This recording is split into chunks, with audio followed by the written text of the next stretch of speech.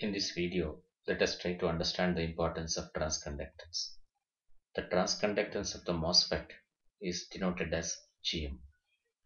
The MOSFET transconductance is given by GM equals Kn dash into W by L into VGS minus VT. We can substitute VGS minus VT as overdrive voltage. Therefore, Gm equals Kn dash into W by L times overdrive voltage. Let us call this as equation 1. From equation 1, we can write the transconductance is proportional to Kn dash, where Kn dash is given by electron mobility times oxide capacitance. From equation 1, we can also write transconductance is proportional to aspect ratio of the MOSFET W by L. To obtain larger transconductance, the width of the transistor must be increased and length of the transistor must be decreased. Since the length of the transistor depends on technology, the only way to increase the transconductance is by increasing the width of the transistor. Alternatively, we can say MOSFET must be short and wide in order to increase the transconductance of the MOSFET. From equation 1, we can also write GM is proportional to overdrive voltage or excess gate voltage. Again, to increase the transconductance, the overdrive voltage must be increased. We will see the consequence of increasing the overdrive voltage on transconductance GM. If we increase gate to source voltage, in order to increase the overdrive voltage, the transconductance GM of the MOSFET increases. However, the voltage signal swing at the drain decreases. The voltage at the drain is given by Vg minus Vt. Increasing the gate to source voltage decreases the voltage at the drain. This in turn decreases the swing at the drain. Next, we can obtain another equation for the transconductance. Gm equals root of 2 times Kn dash into root of W by L into root of drain current ID. Let us call this as equation 2. From equation 2, we can write Gm is proportional to root of ID, where ID is the DC bias current. Also, we can write from equation 2, Gm is proportional to root of aspect ratio. Now, for ID is equal to 0.5 milliampere, Kn dash equals 120 microampere per volt square and aspect ratio of the transistor as 1, we obtain from equation 2 Gm as 0.35 milliampere per volt. If we increase the aspect ratio from 1 to 100, then transconductance Gm equals 3.5 milliampere per volt. The aspect ratio when it is increased from 1 to 100, there is a drastic improvement in the transconductance Gm from 0.35 milliampere per volt to 3.5 milliampere per volt. This implies we are getting more mileage as we can compare this with a vehicle. Now we can obtain another equation for the transconductance Gm by substituting Kn dash into W by L as 2 times ID by VGS minus VT whole square. VGS minus VT can be written as overdrive voltage VOV. Therefore, Kn dash into W by L equals 2 times ID by VOV square.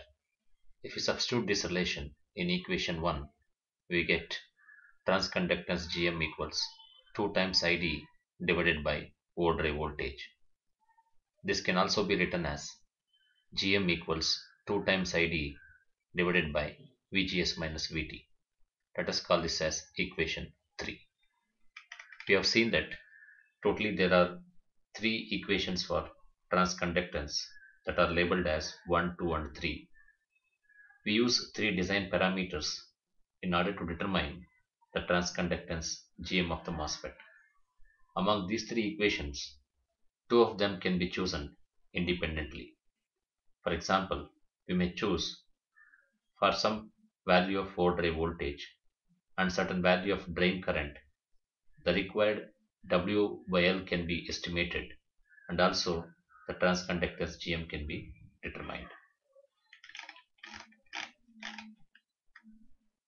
In this, we will see that the equivalent resistance calculation when resistances are connected in parallel. Let's assume that the resistance R1 is not equal to R2. The equivalent resistance value can be calculated if connected in parallel using this relation.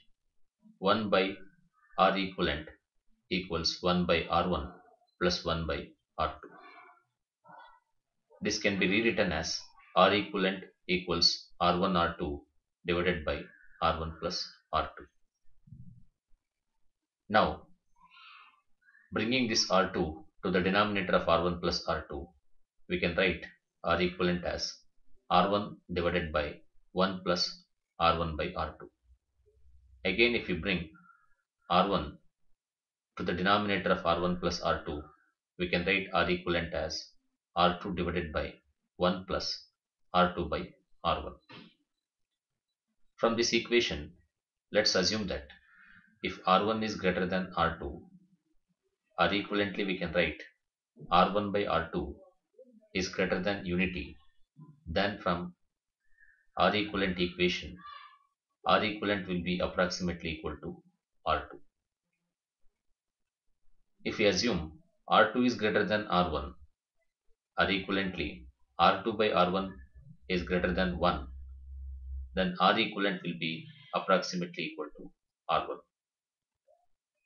Generally if R equivalent is less than R1 and R equivalent is less than R2 for any one of these relations the R equivalent can be estimated by R equivalent should be less than minimum of R1 and R2. Let us illustrate this with an example. Let's assume that 100 ohm and 200 ohm resistors are connected in parallel. Therefore, R equivalent can be written as 100 into 200 divided by 100 plus 200 which is equivalent to 66.66 ohm. We can see that the R equivalent value which we obtain 66.66 ohm is less than the smaller of these two resistor value which is 100 ohm. This also can be understood better by going through this analogy. Let's assume that there is a water in the tub and the pipe is connected for the outlet to, for the flow of water.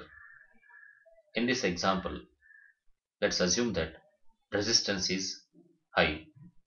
Higher the resistance means the pipe is smaller and it is narrow. The water flow through this outlet is very small since the pipe is smaller. This indicates that R is higher. In another example here,